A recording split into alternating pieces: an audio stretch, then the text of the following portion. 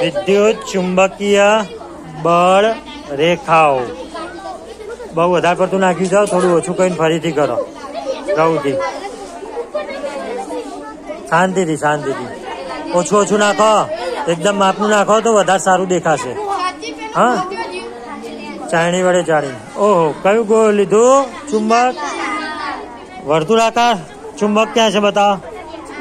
નીચે છે? અરે વાહ. તો ક્યાં મળી તમારે? સૌથી વધારે ક્યાં ચોટ્યું બાજુ બાજુ કિનારી કિનારી. આ બધી વિદ્યુત ચુંબકીય બળ રેખાઓ કહેવાય.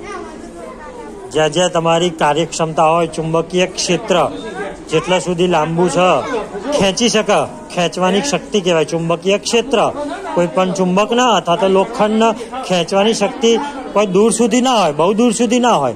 આ ચુંબકથી આ દરવાજો કંઈ ખેંચાય, ચોંટશે? ના. એનું ક્ષેત્ર અમુક લિમિટ હોય, જગ્યા સુધી જ હોય. તો એને ચુંબકીય ક્ષેત્ર કહેવાય અને આ તમે જોઈએ ચુંબકીય બળ રેખાઓ છે એની. લો, ચુંબકની કેટલું બધું ચોટ્યું? તમે આખામાં આખામાં ફેલાઈ દો. આખામાં. નવેસરથી ફરતી કરો. ચુંબક કાઢ પહેલાં ફેલાઈ દો. અને પછી ચુંબક લગાવો. અને પછી જુઓ, તમે આખામાંથી કેટલી ને ખેંચી લાવો છો. બરોબર ને આખા પત્તામાં ફેરવી દો. હવે વચ્ચો વચ પેલું ચુંબક છે ને, ધીમે રહીને મૂકવાનું, એ વચ્ચો વચ વચ્ચે. જ મૂકવા તાર, ધીમે. નીચે નહીં, વચ્ચો વચ જ ઉપર જ મૂકો. ઉપર મૂકો કશું વાંધો નહીં? હા, મૂકો. શું થયું કેટલા સુધી ખેંચ્યું? બાકીના બધા વધારાનું જો ખેંચ્યું છે? હવે ધીમે રહીને લઈ લો. ધીમે રેન ઓકે.